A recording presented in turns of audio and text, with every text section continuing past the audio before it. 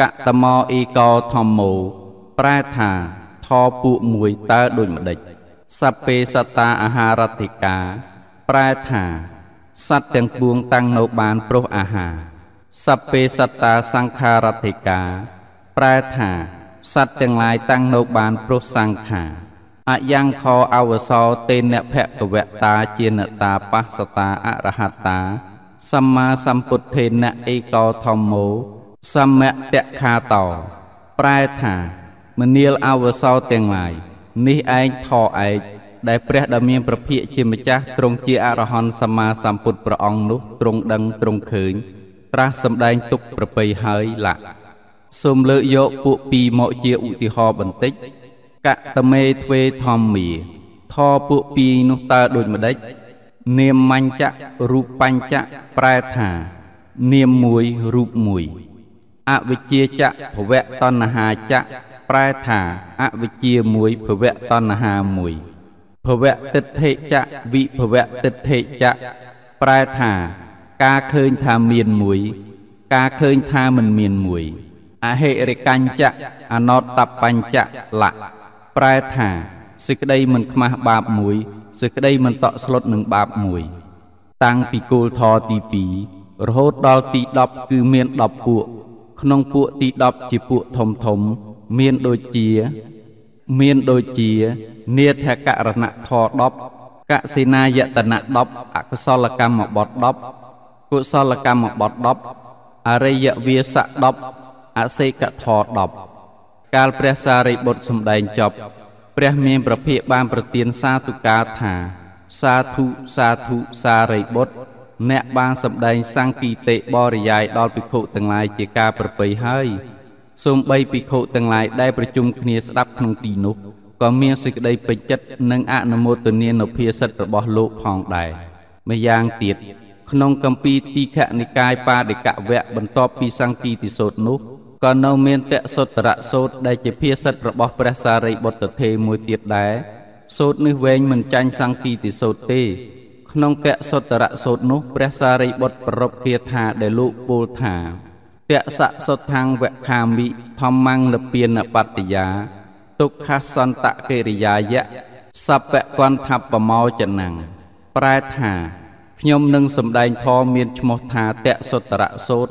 ដែលដកហូតចោលនៅគ្រឿងចងរឹតទាំងពួង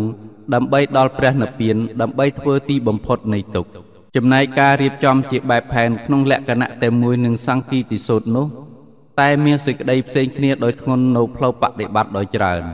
ការរៀនព្រះអភិធម្មបិដករបស់ព្រះសារីបុត្រទេ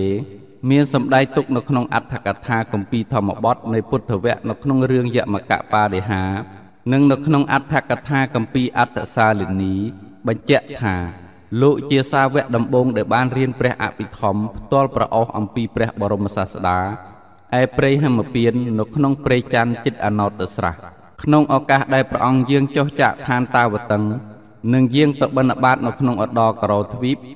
ហើយទ្រង់និមន្តមកឆាន់នៅក្នុងរូងដ៏ធំនៅក្នុងព្រៃច័ន្ទនោះព្រះថេរៈបានប្រកល់បំរើព្រះពុទ្ធអង្គនៅក្នុងទីនោះ ការលោកបានរៀនហើយទើបនាំមកបង្រៀនភិក្ខុ500រូបជាសិស្សរបស់លោកជាគ្រាដំបូងតាមប្រពុតតម្រាស់ទូមាន បន្តពីនោះមកក៏បានសិក្សារៀនសូត្រតគ្នាមករហូតមកដល់សប្តាហ៍ថ្ងៃនេះព្រះបរមសាស្តាត្រាស់សរសើរកិត្តិគុណរបស់លោកថា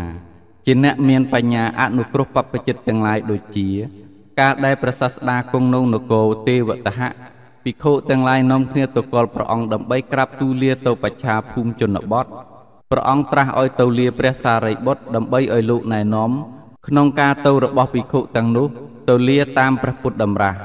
ព្រះសារីបុត្រទូមានថា បើមានអ្នកសួរថា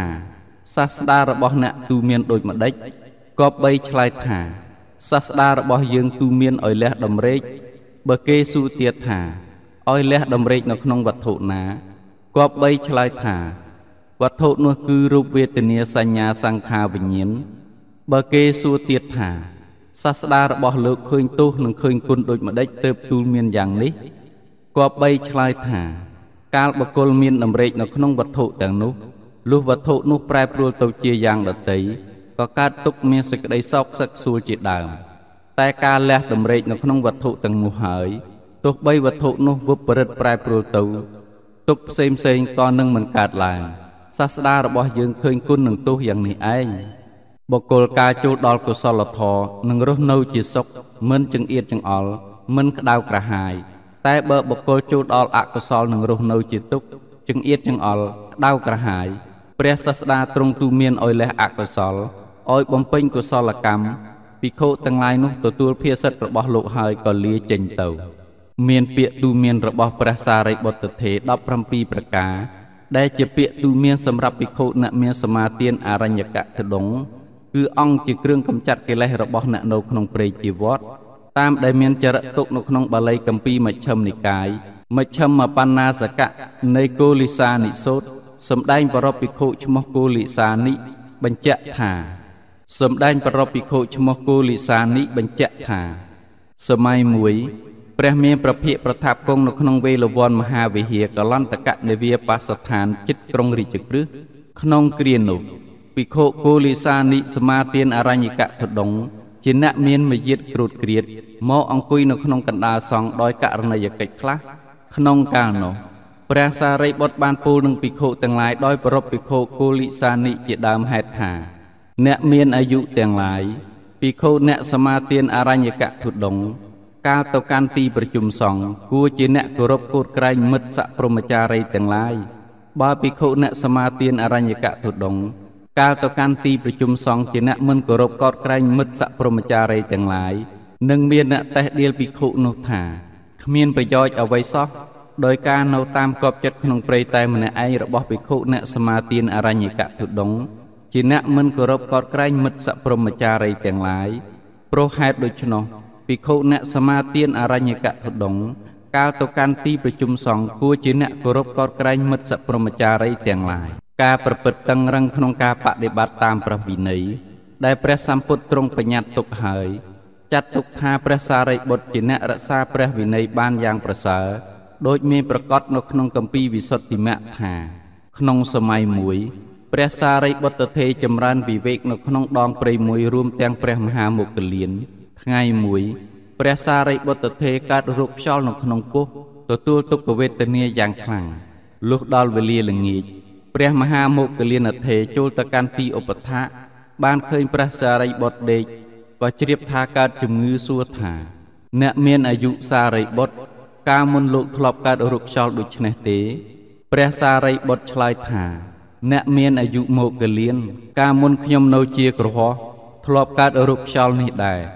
តែពេលកើតរោគខ្យល់នេះឡើងញោមស្រីឲ្យបរិភោគបាយយ៉ាស់ផ្សំនឹងទឹកដោះប្រេងទឹកឃ្មុំនិងស្ករអំពៅ មិនផ្សំជាមួយនឹងទឹកឡើយកាលបរិភោគហើយរោគខ្យល់ក្នុងពោះក៏ជាសះស្បើយទៅ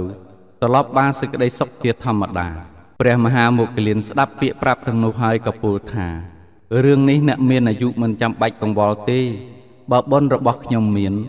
ឬបុណ្យរបស់អ្នកមានអាយុមាន ថ្ងៃស្អែកអាចបានបាយាសយ៉ាងពិតប្រាកដការសន្ទនាគ្នារវាងប្រធេរៈទាំងពីរនោះទេពតាដែលស្ថិតនៅត្រង់ដើមឈើទីជិតបំផុតនៃទីចង្ក្រម បានស្ដាប់ហើយគិតថាព្រឹកស្អែកយើងនឹងជួយឲ្យលោកបានបាយាសរុក្ខទេវតាគិតហើយបានទៅកាន់ត្រកូលឧបថាប្រធេរៈហើយចូលទៅស្ថិតនៅក្នុងរាងកាយរបស់កូនច្បងនៃត្រកូលបណ្ដាលឲ្យកើតសេចក្តីទុក្ខយ៉ាងខ្លាំងឡើងញាតទាំងពួងរបស់កុលបុត្រនោះមកប្រជុំគ្នាចំពោះមុខដើម្បីរក្សាជំងឺទេពតាប្រាប់ដល់ពួកញាតទាំងនោះថាបើអ្នកទាំងឡាយតាក់តែងបាយាសយ៉ាងល្អទៅប្រគិនចំពោះលោកម្ចាស់ក្នុងពេលព្រឹកនេះ យើងនឹងឲ្យកុលបុត្រនេះជាសះស្បើយជាប្រក្តីពួកញាតពោលថាទោះបីអ្នកមិនប្រាប់ដល់ពួកយើង យើងក៏នឹងប្រគេនភឹកខាហាចំពោះលោកម្ចាស់ទាំងពីរអស់កាលជានិច្ចដែរកាលពូលដូច្នោះហើយ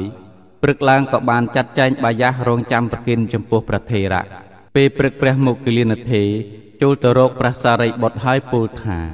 អ្នកមានអាយុអ្នកចូលរងចាំនៅក្នុងទីនេះសិនដល់រាប់ដល់ខ្ញុំត្រឡប់មក លុះពោលហើយក៏ចូលទៅបិណ្ឌបាតនៅក្នុងត្រកូលនោះពួកជននៅក្នុងត្រកូលនោះនាំគ្នាទទួលប្រធេរៈដោយគោរពទទួលបាតនិងអារតនាឲ្យព្រះមោគលានធេគង់លើអាសនៈដួសបាយាសដាក់ក្នុងបាត និងអង្គាសគឺប្រគេនចំពោះប្រធេរៈព្រះមោគលានធេទទួលប្រគេនបាយាសហើយ បានសម្ដែងអាការៈបំណងនឹងត្រឡប់ទៅ ពួកជនទាំងនោះដឹងភ្លាមពោលថា សូមលោកម្ចាស់ចូលឆាន់បាយាសនេះសិនចុះ ក្នុងពេលត្រឡប់ទៅវិញពួកខ្ញុំនឹងប្រគេនបាយាសថ្មីចំពោះលោកម្ចាស់ទៀតកាលព្រះមុគលានធេឆាន់អាហារស្រេចហើយពួកជនទាំងនោះក៏នាំបាយាសថ្មីដែលត្រៀមទុកមកដាក់បាតទាល់តែពេញហើយប្រគេនព្រះថេរៈព្រះថេរៈក៏នាំយកទៅឲ្យព្រះសារីបុត្រទេដោយពូលនិមន្តថាអ្នកមានអាយុសារីបុត្រចូលឆាន់បាយាសនេះចុះព្រះសារីបុត្រទេមើលឃើញបាយាសនោះក៏រលឹកឃើញថា បាយាសនេះបានមកព្រោះយើងប្រាប់ដល់ព្រះមុគលានក៏ប្រាប់ព្រះមុគលានថា អ្នកមានអាយុអ្នកចូលយកបាយាសនេះចេញទៅ បាយាសនេះមិនគួរដល់ខ្ញុំទេព្រះមុគលានទេមិនបានគិតថាព្រះសារីបុត្រមិនឆាន់បាយាសមិនមែនព្រោះមិនពេញចិត្តនៅក្នុងខ្លួនលោកទេ តែប្រកាសជាមានហេតុដតីដោយពាក្យពេចន៍ដែលព្រះសារីបុត្រទេនិយាយត្រឹមតែមួយម៉ាត់ប៉ុណ្ណោះ លោកក៏ចាប់ត្រង់កណ្ដាប់មាត់បាតនាំចេញទៅចោលនៅក្នុងទីដតីប្រកាសហេតុដ៏គួរឲ្យអស្ចារ្យបានកាត់ឡើងមួយរំពេចដោយការគិតមិនដល់គឺក្នុងគណៈដែលព្រះមុគលានចាក់បាយាសចេញអំពីបាតធ្លាក់ចុះដល់ផែនដីរោគខ្យល់ក្នុងពោះរបស់ព្រះសារីបុត្រក៏ជាសះស្បើយទៅភ្លាមនឹងចាប់តាំងពីពេលនោះមករោគខ្យល់ដូចនេះមិនបានត្រឡប់កើតដល់ព្រះសារីបុត្រទៀតឡើយអស់រយៈកាលប្រមាណ44ព្រះវស្សា